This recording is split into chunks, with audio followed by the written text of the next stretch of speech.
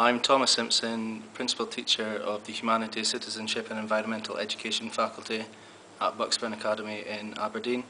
And my green dream is that us as teachers and adults, we can empower young people to bring about change in their communities.